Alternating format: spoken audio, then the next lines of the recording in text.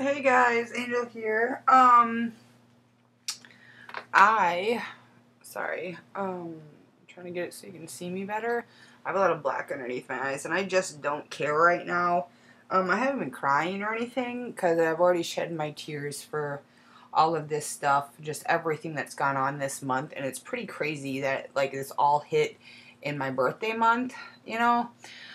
But like I said, we're pulling it out and we're getting it together. And, um, you know, this is going to be my last, you know, words to my brother in law and his family and his grandmother and his mother out there somewhere if she hasn't heard. Um, I miss you, Justin, and Chrissy Be Strong, you know, um, to his, his brother and his sister and his dad and stuff. I know it's rough going through what it is you're going through right now. I know what I'm going through, and um, I know how much I cared about Justin. Um, but the best thing you can do for Kenny and and yourselves and Justin is just to is just to carry on. You know, just to keep on going and not and not act or even allow this to shatter you like it has. And um, like I said, so just pick up the pieces and just keep on going. You know, um, all I can say is, uh, you know, I miss him a lot, and I know that people thought from whatever happened between Justin and uh, and I, um, there was nothing there more than a severe brother and sister relationship. Um, he was, like I said, my best girlfriend. He was the best friend that I've ever had in my entire life, even more than my sister. And um, he was always there for me. He would always tell me, you know, when I'd call him, you know, talking about the pain I was going through, he'd always, you know, talking about, you know, if you ever need money or if you ever need this or, you know, or just trying to show me as much love as he could possibly show me in whatever way that he could to, to let me know, even if no one else in the family accepted him, I always did. I always, even if I was pissed off at him for doing something to my sister or me or whatever. He always was accepted in my heart, and I will never let go of Justin, and I will never forget him, and I will always talk about him. I know if I ever have kids, even though my time is getting shorter to to be able to have children, that they will know of him and they will know who he is and they will know of his his wife and his brother and his dad and and the life that we had with him while he was here and they will know his son Kenny and um, shout out to Kenny this is Angel from Angel Sky Channel. Um, I don't know if you remember me but um, I'm just saying you know you, you know things are gonna be okay guys. So um, I know things seem really rough right now, but I was a conflict manager, and no matter if I'm bipolar or crazy or or just clinically insane, um, I know that in times like this that I will pull things together to be here and help people that need it through situations like this. So, like I said, guys, um, I'm gonna make this vlog for today. I don't know if I'm gonna post it tonight. Um, I'm gonna post it possibly tomorrow because I don't know how late I'm going to be up tonight. But, um, you know, I've been pretty upset. I, I've taken this pretty hard, and I can only imagine what, you know, everyone else is taking this as. And, you know, I just. I just, I don't know. You know, there's not really much you can say to really, like, mend what's going on and what's been taken from us other than time and just dealing and coping with what has happened in our, in both of our families, the Harrisons and the Lawrences, and you know just just everyone else in Texas and anyone you know that knows Chrissy here and you know anyone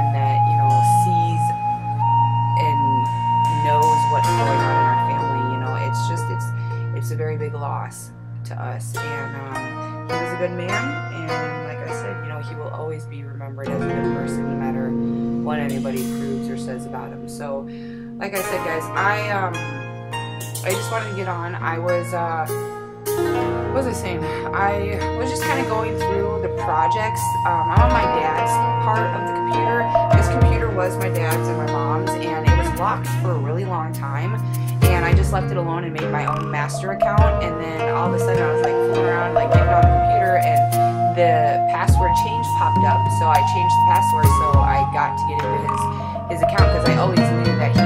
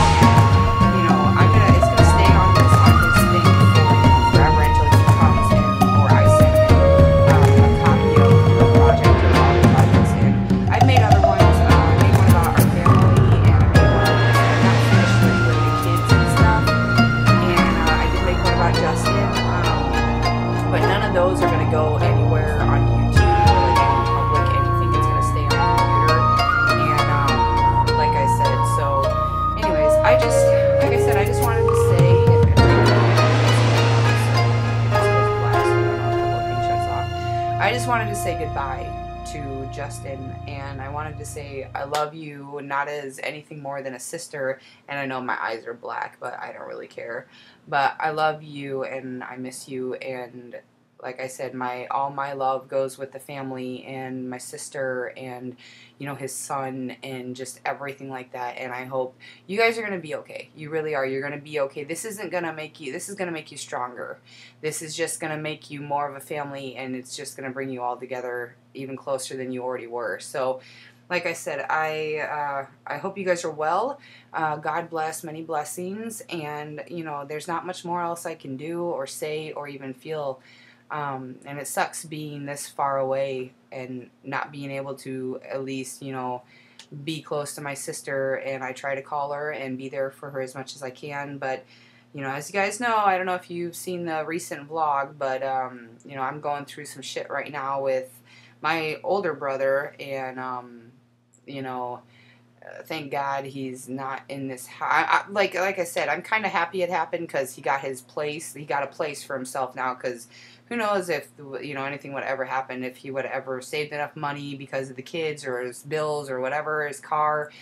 Because by the time he got enough money, his car probably would have broken down. And then he would have had to put all his money in that, and then he would have to stay here longer. So I'm kind of glad it happened because now he's got his own place, and now he has a home of his own. Unless he chooses to leave or move, then he can do what he wants, and he's not stuck in a little hole in my place being bossed around or whatever by me. And like I said, guys, you know, I don't know what's going to happen on the 28th when I got to go to court. Um, I'm pretty sure it's not going to be too bad given whatever the outcome of it is, whether I, you know, I'm pretty sure it's not going to be, I mean, it sucks because I was arrested and I, you know, I was trying so hard, I mean, so hard to just, you know, whatever was wrong with me back then to fix and do better with, with my life after everything that I had went through because you know, like I said, when I was homeless, I there was a point when I told myself after I'd been out there so long that I wasn't coming home, you know, and that I, this wasn't going to happen again. And I don't care what you people say or do, and it's not happening. And uh, I always told myself, I, I made a promise to myself that I'm going to be an independent woman and I'm going to make my own money and I'm going to do my own thing and no one's going to no one's going to keep me down. You you can arrest me 50 million times and put me away for 50 years, but as soon as I get out, I'm going to I'm gonna beat you in court and sue you, and I'm gonna live with millions of dollars doing whatever it is I do. So I did. I was out homeless for almost 12 to 15 months. I don't count the last few months because I was in a home. I was in shelter, but um, I was still under my parents' thumbnail, um, pretty much. And um, I did. I told myself about six, six months in, I just said in my head, you know, I didn't say it out loud that, you know, I just stopped for a second while wherever I was in Rockford, Illinois, and uh, told myself, you know what, this is it. It's over. I'm not coming home, and no matter what you guys say, you know, whatever happens, I'm not I'm not going to be moving back in with my parents, whether I'm homeless on the street and dead, or I have a mansion in Tahiti. You know, it's just not happening. So, anyways, guys, I love you, Justin. I love you, Chrissy. I love you, Harrisons. Uh, I love you, mom and dad. I I just I love all you guys, and just take this as a reminder that you know everything that you see sitting in front of you or on the side of you or below you or whatever you think in your little head, you know, you may think that you can get that now, but you don't know how easily it can be taken away from you and nothing you did nothing to deserve it. You you you worked your ass off to get what it is that you have in your home or the home that you have or the money in your pocket and five seconds later you think everything's cool and that you're safe and you're walking down the street and you're robbed and shot and now you're dead so like i said take it easy, guys. I'm gonna get out of here. I'll finish this up. I'll make a little bit of peace, a little bit in a little bit, and finish this vlog. But like I said, God bless you, Justin Burma, Justin Riley Harrison. You were the best man that my sister could ever have, and that's why you were her husband. And you know, David Whalen was a good man, but he's also gone, and I don't think there's anybody that's going to ever top you in Chrissy's life, but if it's need be, I hope she does find someone that can help take care of her in her in in her later years or now or whatever and you know, I will always miss you and I will always be here for you and whatever it is that you were going through, it doesn't matter. It was nothing compared to to what it was that, you know, caused all of this. So, I love you and I'll talk to you guys in a little bit. Okay, guys, so I'm back. Um, you know, uh, I got to get ready for Halloween. Um, I don't really know what I'm going to do about um, Christmas yet. I'm still working on Angel Christmas. Um, that is to come. Uh, probably close to the end of October, um, you'll start seeing more of promotions for Angel Christmas or just things on my channel about Angel Christmas, whatever. Um, I wanted to show you guys something. Um, this is a very sacred piece in my home and my family or my family, my mine, like the family I don't have, just me or whatever. But um, this is a the last certificate or piece of my childhood from school of my academic achievements before I moved to this state um, that I have. And luckily, my mother was a very smart woman. And the funny thing about it is, when I found this, I was going through my box, just kind of going through memories and stuff. And I saw a picture him, right? And I'm like, what is this? You know, oh, I'm just looking at it, you know. And I know that in my book that I had made a little like memory scrapbook of like all my achievements and stuff, that I had two presidential seals of honor, right? For being making honor roll and just being a good student and getting straight A's and stuff. Or maybe like one B, okay, like no B's. But anyways, um but the only thing I didn't know is that I didn't have only two, I had three of them. So when I found this, I flipped out. I was so happy that my mom had saved this because you know, even though if you ever need it and you don't have the certificates or the information that you need, and you know that, you know, anything you're innocent or that you absolutely have to have it, you can have it sent to you and it like it has to be a dire need. Like you have to like seriously have to have a really good reason to have it all reprinted up and it will be reprinted up exactly the way that it was. Um, literally same paper, same ink, same same same stickers, same the same man will sign his name, um, and it will be documented if it's if he's older, if it's any different, and everything like that. But um, this is the last honor roll certificate, and it says honor roll.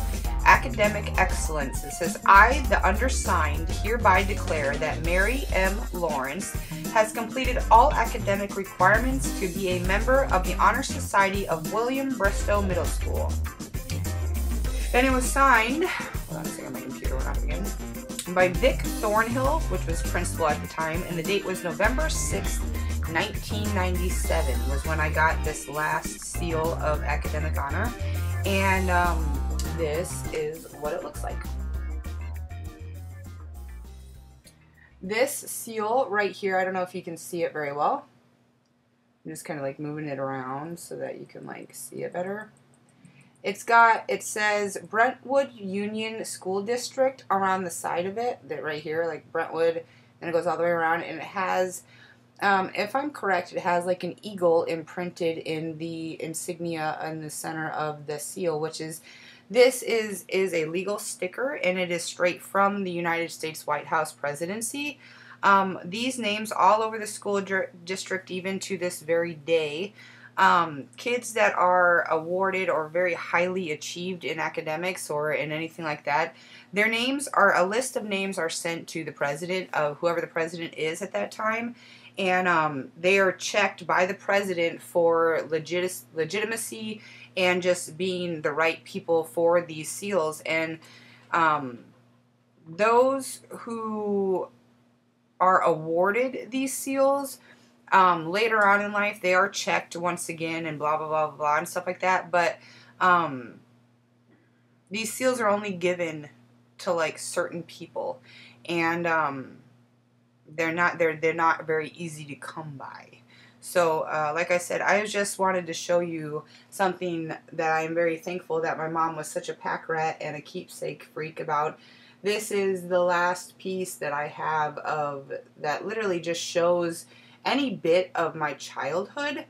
Um, I uh, I just was very proud that she was smart enough to, to tuck that away and keep that that for me because I don't know if she knew the events that were going to occur in my life or the things that I was going to go through in my life, but it really means a lot to me and I want her to know and my father to know that I love them very much no matter what's going oh that's my necklace. I keep thinking that's my hair.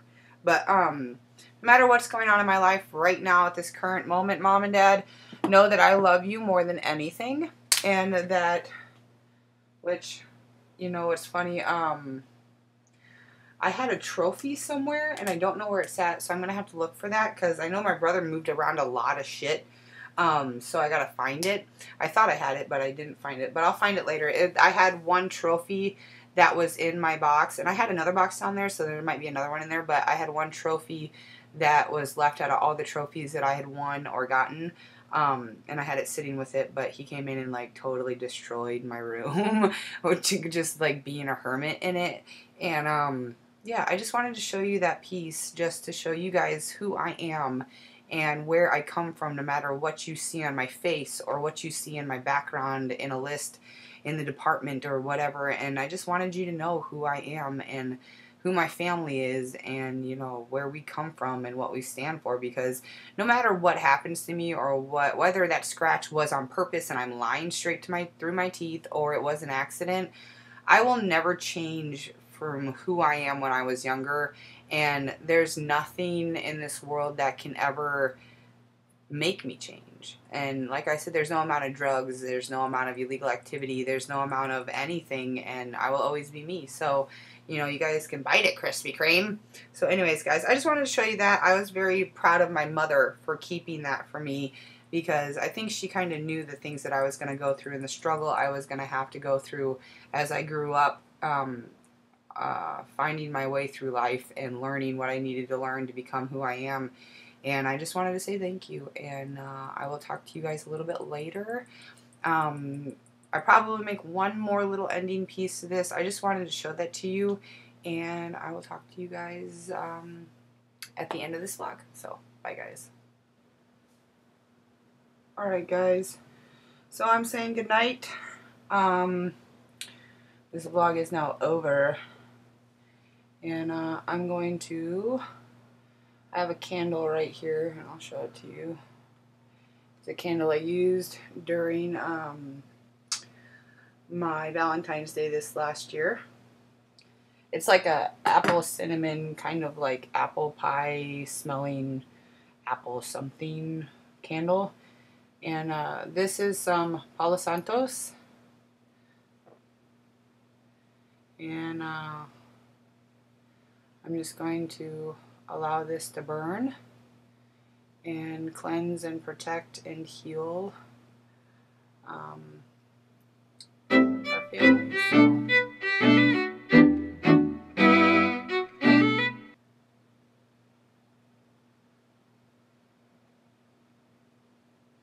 So as the smoke rises and dissipates within the air and disappears, so will hopefully our pain and sorrows, and we will start to mend through uh, good workings and good deeds. So I'm going to talk to you guys later, and have a wonderful night, and bye-bye.